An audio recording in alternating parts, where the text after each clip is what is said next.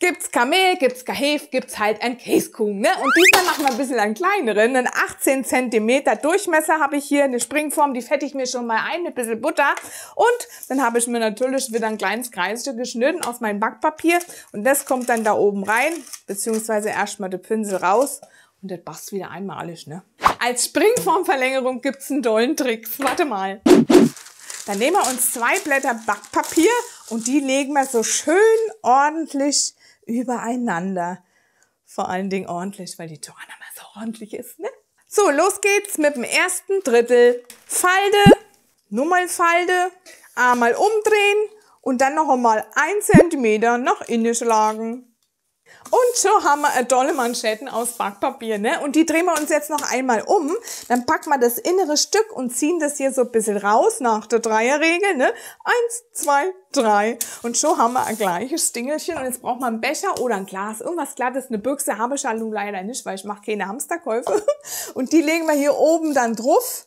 Und dann wickeln wir unser Becherle, unser Glas oder die Büchsen einfach da so rein.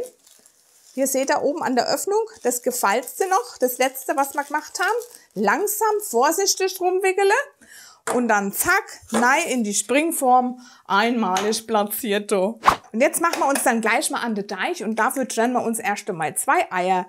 Und die Eigelbe, die tun wir dann gleich da rein in den Quark. Und jetzt machen wir uns aus dem Eiweiß mit ein bisschen Salz ein Eischaum.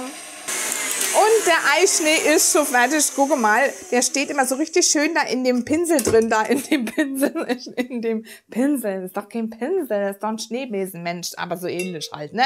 Tun wir mal den Schnee ein bisschen weg. Der Schnee, der Eischnee. Und dann tun wir den Quark da rein, das sind ja schon die Eigelbe drin. Dann geben wir noch ein bisschen Sahne dazu, ein ganzes Ei, ein bisschen Creme fraiche. Und los geht's! Inzwischen mischen wir uns jetzt schon mal die trockenen Zutaten. Da habe ich ein bisschen Zucker. Da kommt Gelierzucker rein, 2 zu 1. Die genauen Mengenangaben schreibe ich euch ja wie immer. Hier staubt schon wieder in die Infobox. Dann habe ich noch ein bisschen Vanillezucker, Backpulver, ein ganz ein bisschen nur. Und der Puddingpulver. Und das geben wir dann auch löffelweise wieder mit dazu. Ach, ich wollte euch ja noch mal was erzählen. Ich habe ja letztens, ich muss nämlich ein bisschen abnehmen, eine Ananas-Diät gemacht. Hm? Ich habe alles gegessen außer Ananas. Hat aber irgendwie nichts gebracht. Ach, schau doch mal, wie schön cremig das wird. Und das riecht so vanillisch. So, der Teig ist jetzt fertig und das ist echt so schön cremig. Guck mal, der dürfte jetzt nicht zu dünne sein. Ungefähr so, bisschen dickflüssig einfach, gell?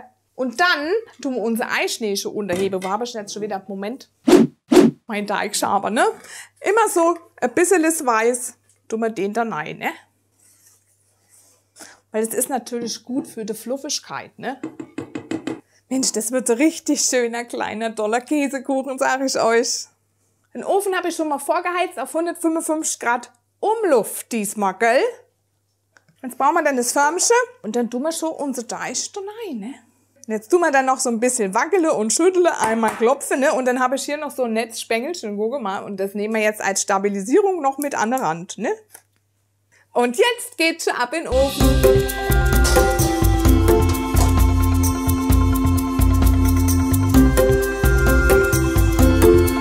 Die erste Backzeit ist rum und jetzt stellen wir unseren Ofen nochmal auf 120 Grad für 45 Minuten.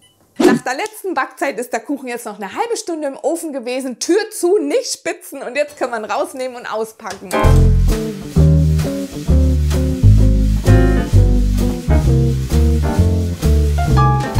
Kein Besuch mehr, also ist das genau die richtige Größe für den kleinen Kreis der Familie. Und dann kommen wir auch gleich in die Küche machen die nächste kleine Leckertorte für unsere Lieben. Also ciao, macht's gut!